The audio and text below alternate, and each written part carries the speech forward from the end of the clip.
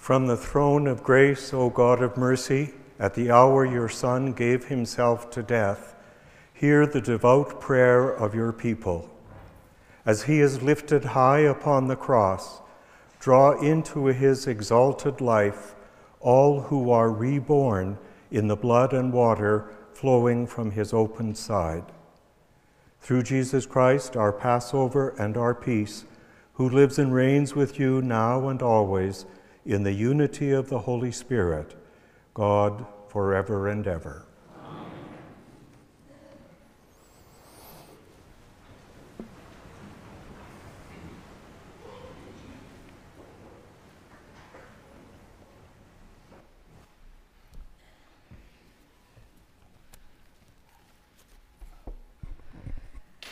A reading from the book of the prophet Isaiah.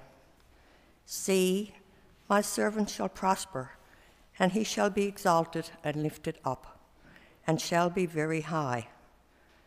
Just as there were many who were astonished at him, so marred was his appearance beyond human semblance, and his form beyond that of the sons of man, so he shall startle many nations. Kings shall shut their mouths before him, for that which has not been told to them they will see, and from which they have not heard they shall contemplate. Who has believed what we have heard? And to whom has the arm of the Lord been revealed? For he grew up before the Lord like a young plant, and like a root out of dry ground. He had no form or majesty that we should look at him, nothing in his appearance that we, we should desire him. He was despised and rejected by men, a man of suffering and acquainted with infirmity. And as one from whom others hide their faces, he was despised, and we held him of no account. Surely he has borne our infirmities and carried our diseases. Yet we counted him stricken, struck down by God, and afflicted. But he was wounded for our transgressions, crushed for our iniquities. Upon him was the punishment that made us whole, and by his bruises we are healed. All we, like sheep, have gone astray. Each has turned to their own way, and the Lord has laid on him the iniquity of us all. He was oppressed and he was afflicted, yet he did not open his mouth. Like a lamb that is led to the slaughter, and like a sheep that before its shearers is silent, he did not open his mouth. By a perversion of justice, he was taken away. Who could have imagined his future? For he was cut off from the land of the living, stricken for the transgression of my people. They made his grave with the wicked, and his tomb with the rich, although he had done no violence, and there was no deceit in his mouth. Yet it was the will of the Lord to crush him with pain. When you make his life an offering for sin, he shall see his offspring and shall prolong his days. Through him, the will of the Lord shall prosper. Out of his anguish, he shall see light. He shall find satisfaction through his knowledge. The righteous one, my servant, shall make many righteous, and he shall bear their iniquities. Therefore I will allot him a portion with the great, and he shall divide the spoil with the strong, because he poured himself out to death, and was numbered with the transgressors.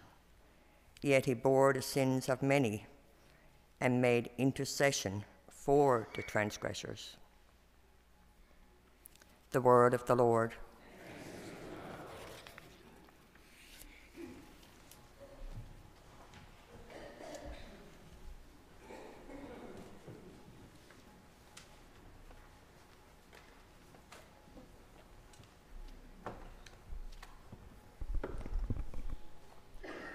Refrain of our psalm is Father, into your hands I commend my spirit.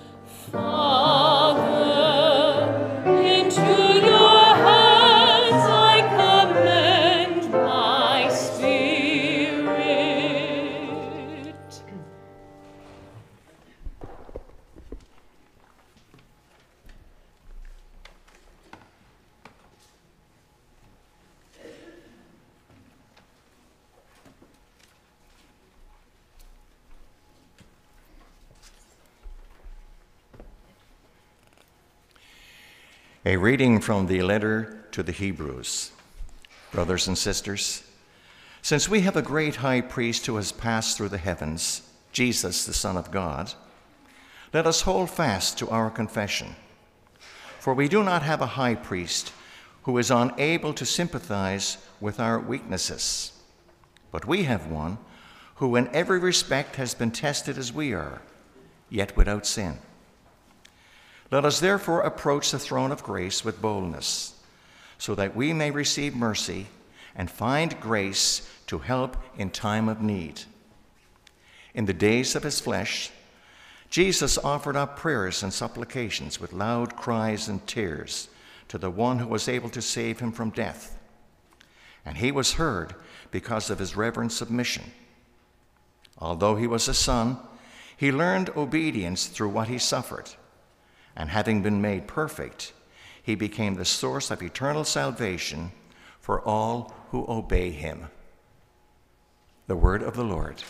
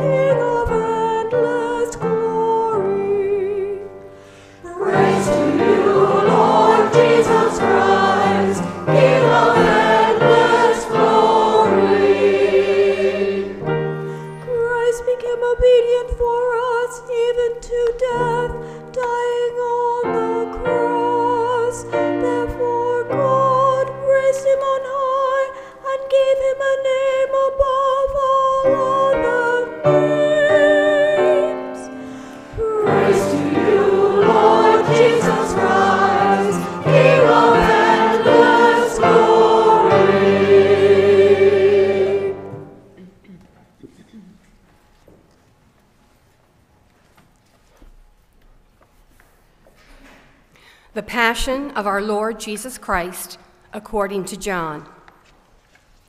After they had eaten their supper, Jesus sent out, went out with his disciples across the Kidron Valley to a place where was a garden, which he had with his disciples entered. Now Judas, who betrayed him, also knew the place, because Jesus often met, met there with his disciples. So Judas brought a detachment of soldiers, together with police from the chief priests and the Pharisees, and they came there with lanterns and torches and weapons. Then Jesus, knowing all that was to happen, came forward and asked them. Whom are you looking for? They answered, Jesus of Nazareth. I am he. Judas, who betrayed him, was standing with them. When Jesus said to them, I am he, they stepped back and fell to the ground. Again he asked them, Whom are you looking for? Jesus of Nazareth. I told you that I am he. So if you are looking for me, let these others go. This was to fulfill the word that he had spoken. I did not lose a single one of those whom you gave me. Then Simon Peter, who had a sword, drew it, struck the high priest's slave, and cut off his right ear. The slave's name was Malchus. Jesus said to Peter, Put your sword back into its sheath. Am I not to drink the cup that the Father has given me? So the soldiers, their officer, and the Jewish police arrested Jesus and bound him. First, they took him to Annas, who was the father in law of Caiaphas, the high priest that year. Caiaphas was the one who had advised the Jews it was better to have one person die for the people. Simon Peter and another disciple followed Jesus. Since that disciple was known to the high priest, he went with Jesus into the courtyard of the high priest. But Peter was standing outside the gate. So the other disciple, who was known to the high priest, went out, spoke to the woman who guarded the gate, and brought Peter in. The woman said to Peter, You are not also one of these men's disciples, are you? Peter said, I am not. Now the slaves and the police had made a charcoal fire because it was cold, and they were standing around it and warming themselves. Peter also was standing with them and warming himself. Then the high priest questioned Jesus about his disciple and about his teaching. Jesus answered, I have spoken openly to the world. I have always taught in synagogues and in the temple where all the Jews come together. I have said nothing in secret. Why do you ask me? Ask those who heard what I said to them. They know what I said. When he had said this, one of the police standing nearby struck Jesus on the face, saying, Is that how you answer the high priests? If I have spoken wrongly, testify to the wrong. But if I have spoken rightly, why do you strike me? Then Annas sent him bound to- Caiaphas, the high priest. Now Simon Peter was standing and warming himself. They asked him. You are not also one of his disciples, are you? He denied it and said, I am not. One of the slaves of the high priest, a relative of the man whose ear Peter had cut off, asked. Did I not see you in the garden with him?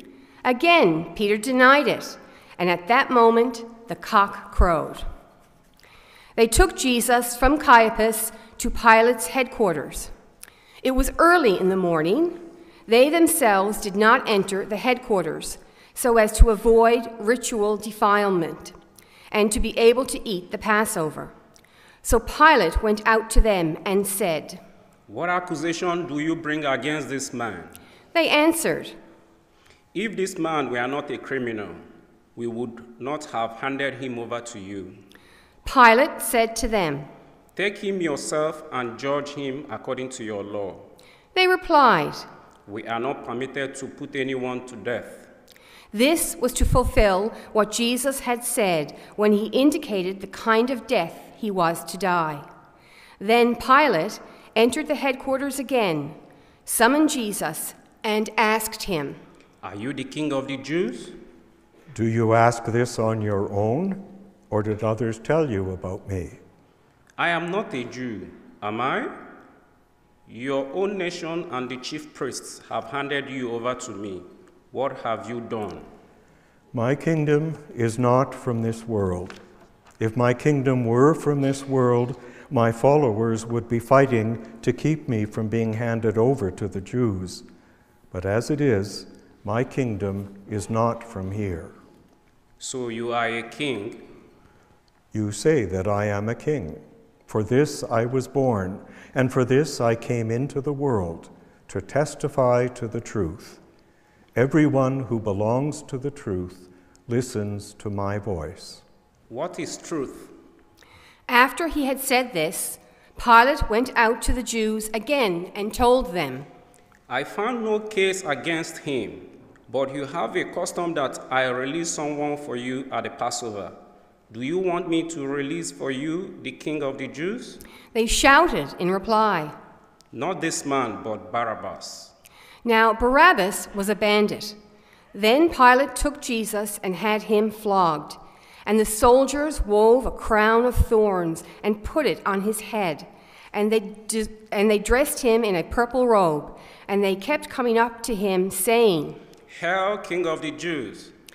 And they snuck and they sn- struck him on the face. Pilate went out again and said to them, Look, I am bringing him out to you to let you know that I found no case against him. So Jesus came out, wearing the crown of thorns and the purple robe. Pilate said to them, Here is the man. When the chief priests and the police saw him, they shouted, Crucify him, crucify him. Pilate said to them, Take him yourselves and crucify him. I find no case against him. They answered him, We have a law, and according to that law, he ought to die because he has claimed to be the Son of God. Now, when Pilate heard this, he was more afraid than ever. He entered his headquarters again and asked Jesus, Where are you from? But Jesus gave him no answer. Pilate therefore said to him, Do you refuse to speak to me?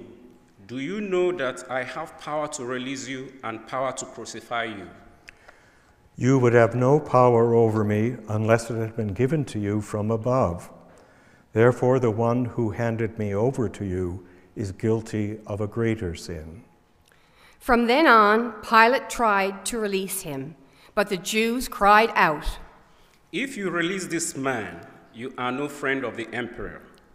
Everyone who claims to be a king sets himself against the emperor. When Pilate heard these words, he brought Jesus outside and sat on the judge's bench at a place called the stone, the stone pavement, or in Hebrew, Gabbatha.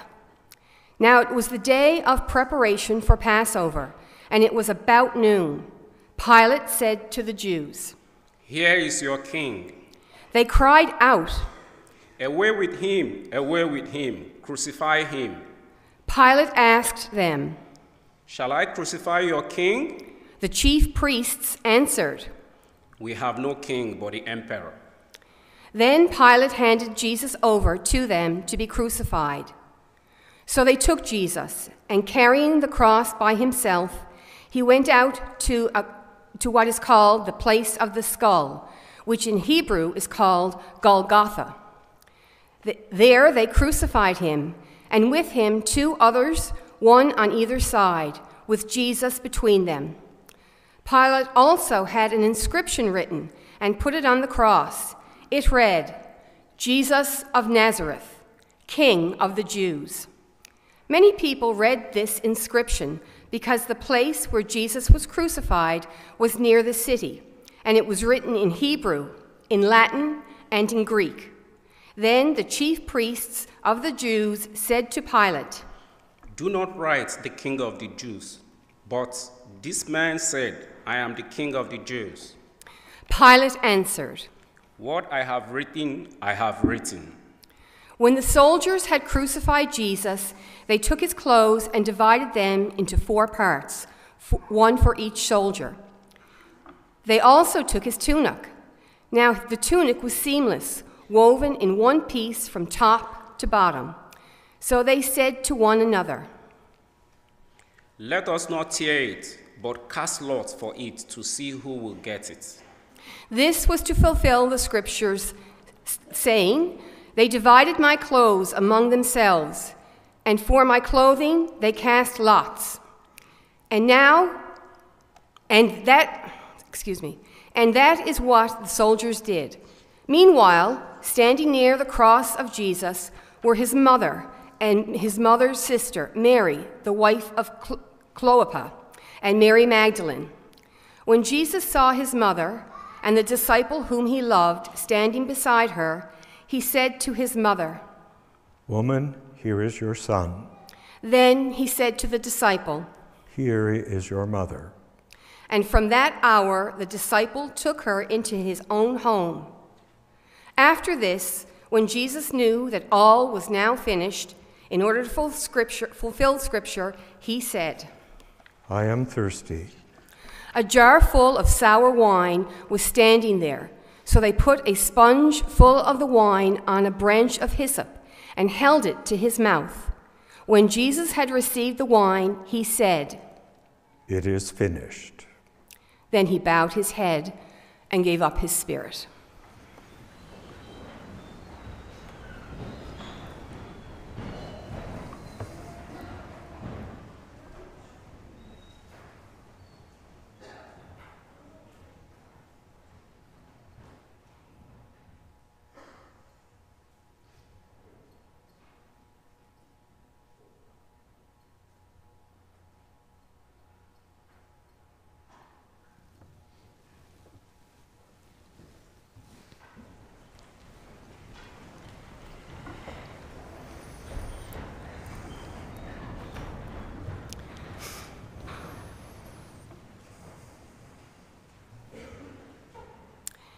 Since it was the day of preparation, the Jews did not want the bodies left on the cross during the Sabbath, especially because that Sabbath was a day of great solemnity.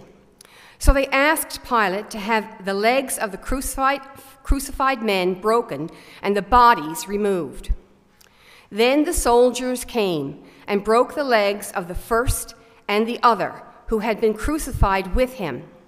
But when they came to Jesus and saw that he was already dead, they did not break his legs.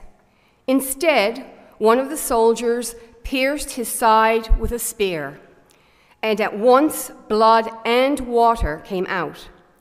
He who saw this has testified, so that you also may believe. His testimony is true, and he knows that he tells the truth. These things occurred so that the scriptures might be fulfilled. None of his bones shall be broken.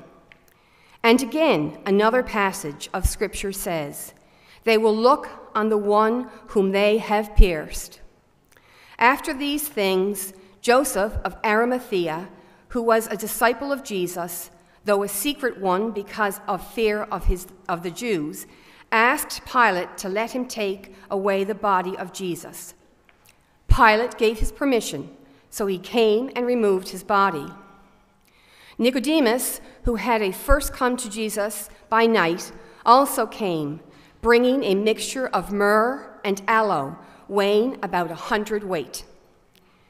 They took the body of Jesus and they wrapped it with the spices in linen cloth, according to the burial custom of the Jews.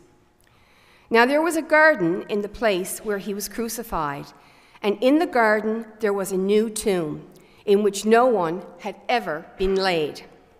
And so, because it was the Jewish day of preparation and the tomb was nearby, they laid Jesus there.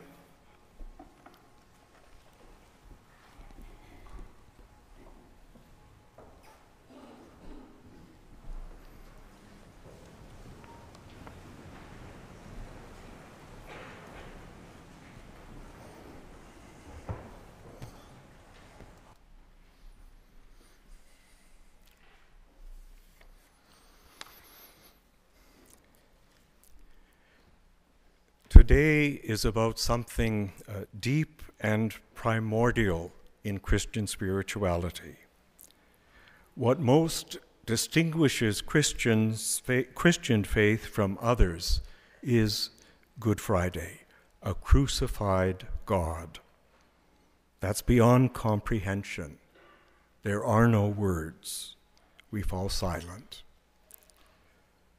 On Good Friday, we're invited to contemplate the mystery, to be loving, lovingly present, and to allow the death of Jesus to shape our way of being engaged with the pain and suffering that's all around us in the world, and with our own pain and suffering. The Passion of Christ is lived out daily by millions of people all over the world we keep them in mind as we meditate on the scripture readings. These words from the fourth song of the suffering servant in the book of the prophet Isaiah are so intimately connected with Good Friday. He had no form or majesty, nothing in his appearance that we should desire him. He has borne our infirmities and carried our diseases. He was wounded for our transgressions, crushed for our iniquities. By his bruises we are healed. Like a lamb that is led to the slaughter, and like a sheep that before its shearers is silent, so he did not open his mouth. Isaiah presents the suffering servant as one who shared the suffering and sorrow of God's people in exile. Eventually, the suffering servant became larger than life, a symbol of Israel's hope for a Messiah who would restore them to their land. As the early Christian community meditated on this suffering servant of Isaiah, they recognized in this prophetic figure, Jesus Christ, who suffered and died for our salvation. Good Friday also brings a, a, flood of other images from the Passion narratives, the sorrowful mysteries of the Rosary, the way of the cross. Jesus in the Garden of Gethsemane. I think especially of that painting with Jesus in the foreground, leaning on a big rock with the city of Jerusalem in the background. Jesus chained to a pillar, his body twisted and bleeding, face agonized as the soldiers scourge him. Jesus crushed under the weight of the cross. Jesus standing before the crowd, flogged, clothed in purple, crowned with thorns, a reed in his hand. Ecce homo, behold the man. The dead body of Jesus in the arms of his mother. Jesus crucified. And this image is so varied from the bleeding, tortured, desperate man crying out, My God, my God, why have you forsaken me? to the regal, victorious Son of God who proclaims, It is finished, and freely gives up his spirit. Jesus, the suffering servant, Jesus lifted up on the cross, Jesus, the Savior of the world. Sink into the mystery of a crucified God. We keep coming back to the suffering of Jesus. We keep focusing on the crucified Christ because we truly believe, some would even say we know, that by his bruises we are healed. As we contemplate Jesus revealed in all those Good Friday images and words, we discover again that there is more here than might be expected we focus on Christ crucified because there we hope, we find hope in our own suffering and in the suffering of the world. we find that the song of the suffering servant is actually a love song, a song of God's crazy, passionate love for his people. It's almost amazing, it's wonderful, it's true. The suffering and death of Jesus are different. By suffering and dying, Jesus, the Son of God, brought an end to the tyranny of suffering and death. Suffering and death are no longer what they were. They are transformed by the suffering and death of Jesus. As on every Good Friday, we gather in grief to remember the suffering and death of Jesus. We fix our sorrowing and stunned gaze on the broken, dead body of Jesus. But there is more. With his last breath, the Spirit of God was let loose in the world, free to seep into every crevice and corner of the universe. The resurrection has begun as Jesus' blood seeps into the earth and his breath disappears into the air. Having gathered in grief, we will depart in silence today.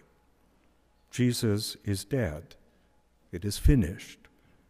Now's the time of loss and emptiness, the in between time between death and resurrection. The seed is in the ground, and with time it will sprout and break forth from the tomb and burst into bloom.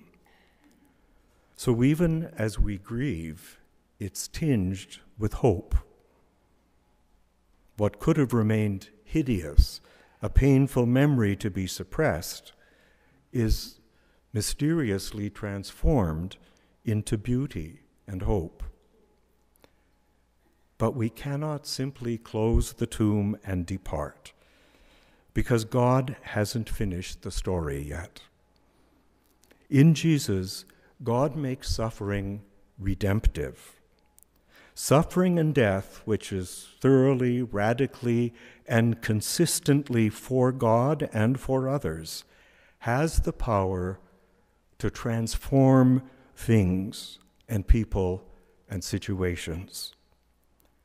Strange as it sounds, suffering is an extraordinary power that is bestowed on us. Think about this change, this transformation. We can all relate to the suffering and death of Jesus because that's clearly our experience and our lot as well. But the transformation of suffering and death might not be so much a part of our experience. Let's just focus a moment on how or why the suffering and death of Jesus changed suffering and death. First of all, as the fourth song of the suffering servant already hints, it is God's work. We do not transform suffering and death, God does. It was the will of the Lord to crush him with pain, we heard, so that he might also prolong his servant's days and make him prosper. My servant shall be exalted and lifted up and shall be very high. God, as we know and believe, raised Jesus from the dead. But suffering and death are also transformed because of the way Jesus suffered and died. Only through accepting and bearing, enduring suffering, entering into it, in some cases even embracing it, did Jesus overcome and conquer suffering. In the words of the fourth song of the suffering servant, he poured out himself to death. Jesus lived and died so thoroughly, radically, consistently for God and for us that in him death comes under God's power, serves God's ends. Richard Rohr suggests in a meditation don't get rid of pain until you've learned its lessons. When you hold the pain consciously and trust fully, you are in a very special liminal space where you have the possibility of breaking through to a deeper level of faith. Hold the pain of being human until God transforms you through it. Then you won't pass on the pain. Instead, you'll be an instrument of transformation for others. And yet, as Ann Weems says in her poem, fair is fair.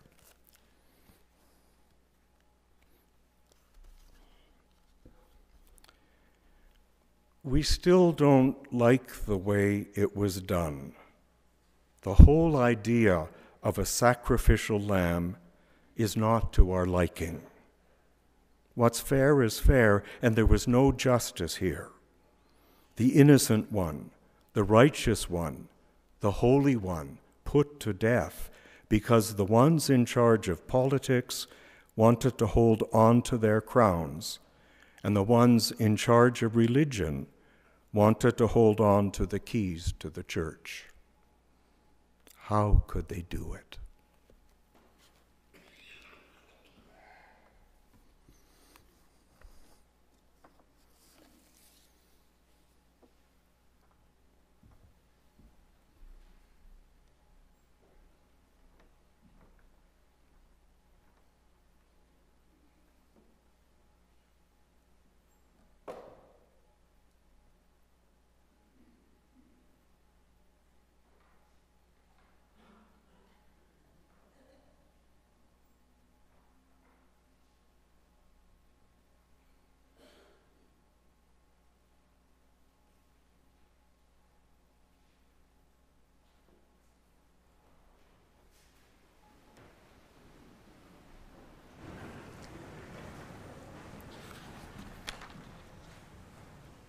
The Good Friday Liturgy of the Word concludes with the solemn intercessions.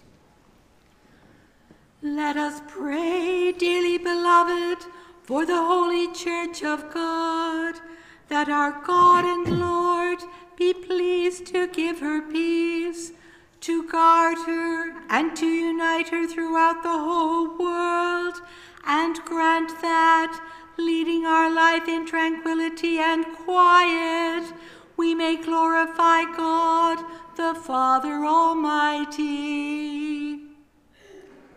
Almighty and ever living God, in Christ your Son, you revealed your glory to all nations. Safeguard the great work of your mercy, that your church through the world may persevere with steadfast faith in confessing your holy name. Through Christ our Lord. Amen. Let us pray also for our most holy Father, Pope Francis, that our God and Lord, who chose him for the order of bishops, may keep him safe and unharmed for the Lord's holy church to govern the holy people of God. Almighty and ever living God, whose wisdom orders all things, protect with your love the shepherd you have chosen, that the Christian people you entrust to his care may, under his leadership, prosper in faith. Through Christ our Lord.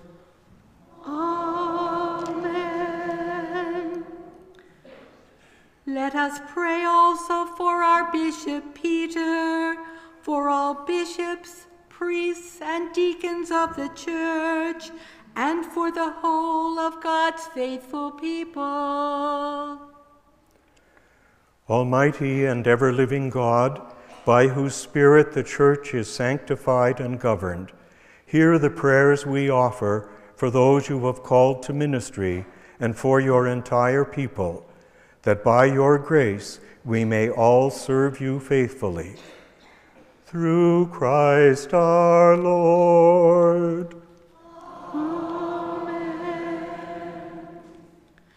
Let us pray also for catechumens, that our God and Lord may open wide the ears of their inmost hearts and unlock the gates of God's mercy, that having received forgiveness of all their sins through the waters of rebirth, they may be one with Christ Jesus our Lord.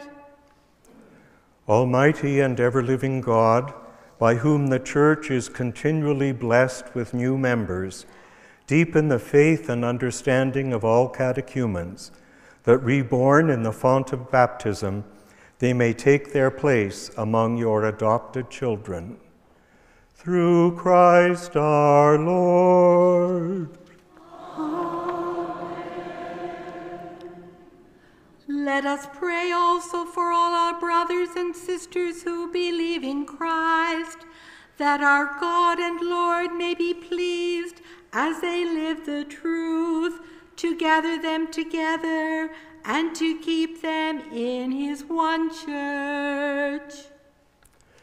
Almighty and ever living God, who gather what is scattered and keep together what you have gathered, look kindly on the flock of your Son, that those whom one baptism has consecrated to you may be joined together by integrity of faith and united in the bond of charity. Through Christ our Lord. Let us pray also for the Jewish people, to whom the Lord our God spoke first, that God may grant them to advance in love of his name and in faithfulness to the covenant. Almighty and ever living God, who long ago chose Abraham and his descendants and established them as children of the promise, hear the prayers of your church, that the people you first made your own may attain the fullness of redemption.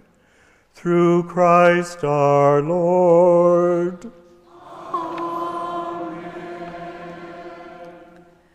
Let us pray for those who do not believe in Christ, that enlightened by the Holy Spirit, they too may enter on the way of salvation. Almighty and ever living God, grant that those who do not believe in Christ, but who walk before you in sincerity of heart, may find the truth. And may we ourselves, being constant in mutual love and striving to understand more fully the mystery of your life, be made more perfect witnesses to your love in the world. Through Christ our Lord. Let us pray also for those who do not acknowledge God, that following what is right in sincerity of heart, they may find the way to God. Almighty and ever living God, you implanted in the heart such a deep longing for yourself that only in you can peace be found. Grant that despite the obstacles which stand in the way, all may recognize the signs of your goodness, discern the holiness of your people, and so gladly acknowledge you as the one true God and Father of all. Through Christ our Lord. Let us pray also for those in public office, that our God and Lord may direct their minds and hearts according to his will for true peace and the freedom of all. Almighty and ever living God, whose hand upholds the rights and aspirations of all, guide those in authority that people everywhere on earth may enjoy prosperity, freedom of religion, and the security of peace. through Christ our Lord. Amen. Let us pray, dearly beloved, to God the Father Almighty, that God may cleanse the world of all errors, banish disease, drive out hunger, unlock prisons, loosen fetters, granting to travelers safety, to pilgrims return, health to the sick, and salvation to the dying. Almighty and ever living God, comfort of mourners and the afflicted, strength of the weary and those who toil, hear the prayers of all who cry to you in any tribulation, and grant that they all may rejoice because your mercy attended them in their hour of need. Through Christ our Lord.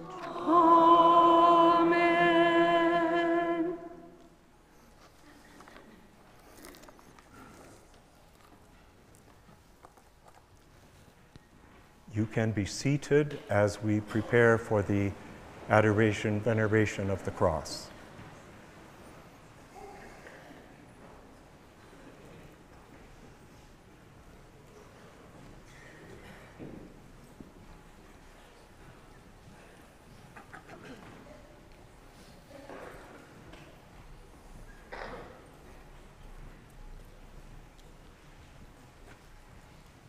Are we doing collection first, or are we?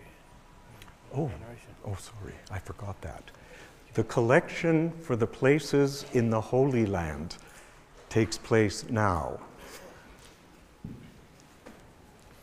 I forgot that.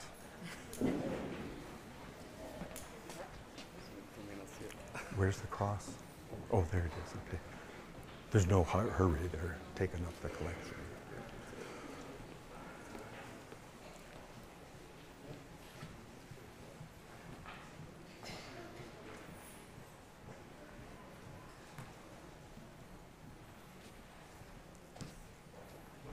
Who's taking the collection? No, I don't know. Rowan doesn't go on. We don't bring the money up. We don't bring the money up. Somebody will be giving it up. Um, can you give it to Debbie? Oh, Debbie. Yeah, I don't know. Oh, does Debbie have a key to bring up?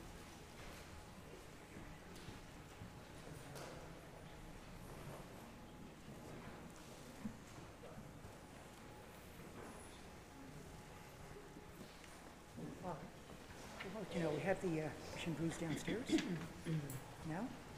So there's actually uh, about 30 or 40 extra servings there if anyone wants to come down and get it.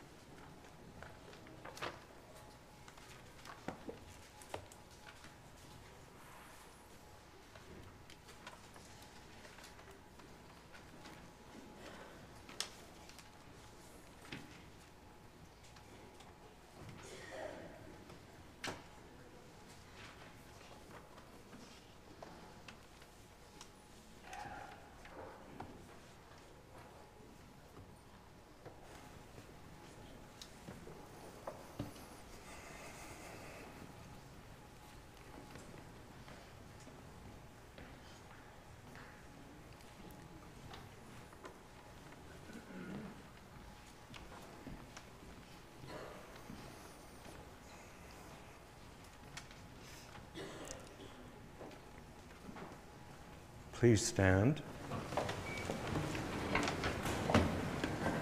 Behold the wood of the cross on which hung the Savior of the world.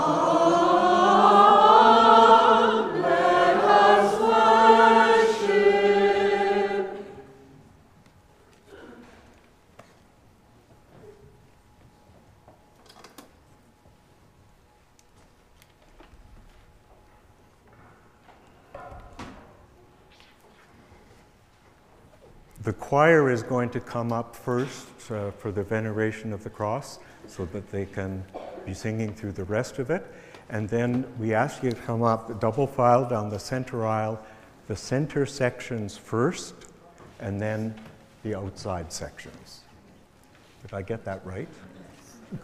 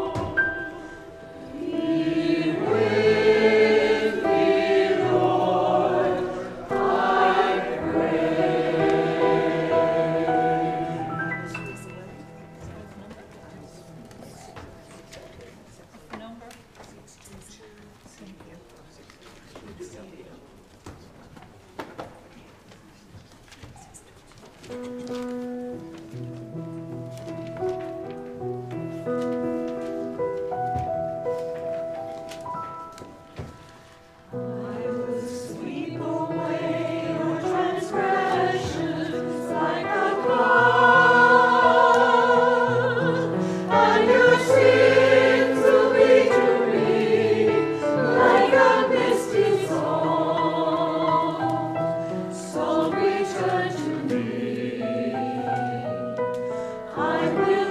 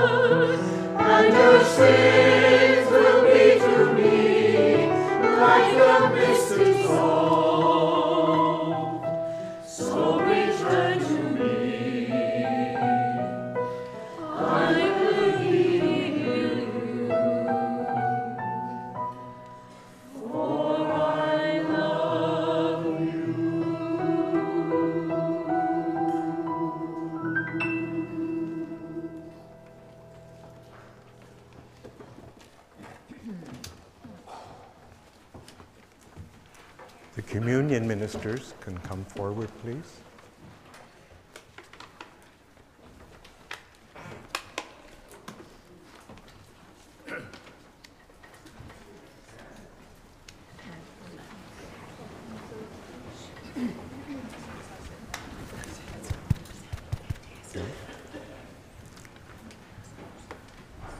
At the Savior's command and formed by divine teaching, we dare to say, Our Father, who art in heaven, hallowed be thy name. Thy kingdom come, thy will be done on earth as it is in heaven. Give us this day our daily bread, and forgive us our trespasses, as we forgive those who trespass against us. And lead us not into temptation, but deliver us from evil. Deliver us, Lord, we pray, from every evil. Graciously grant peace in our days, that by the help of your mercy we may be always free from sin and safe from all distress, as we await the blessed hope and the coming of our Savior, Jesus Christ.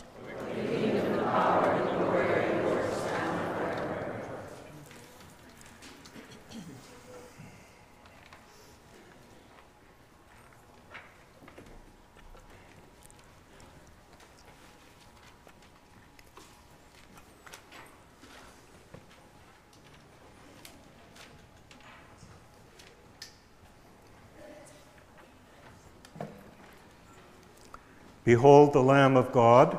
Behold him who takes away the sins of the world. Blessed are those called to the supper of the Lamb.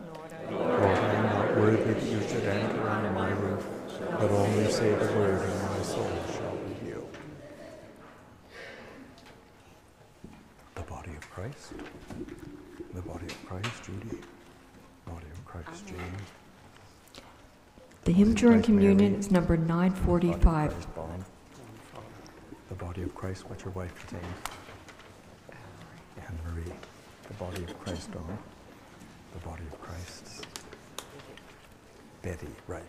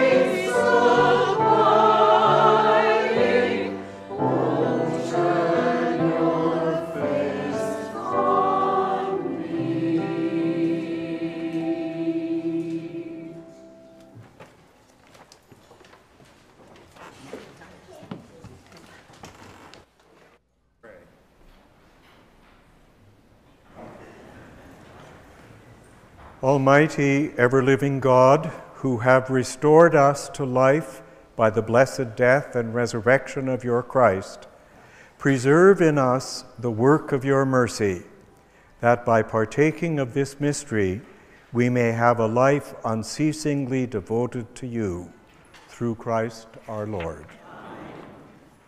May abundant blessing, O Lord, we pray, descend upon your people who have honored the death of your Son in the hope of their resurrection. May pardon come, comfort be given, holy faith increase, and everlasting redemption be made secure through Christ our Lord.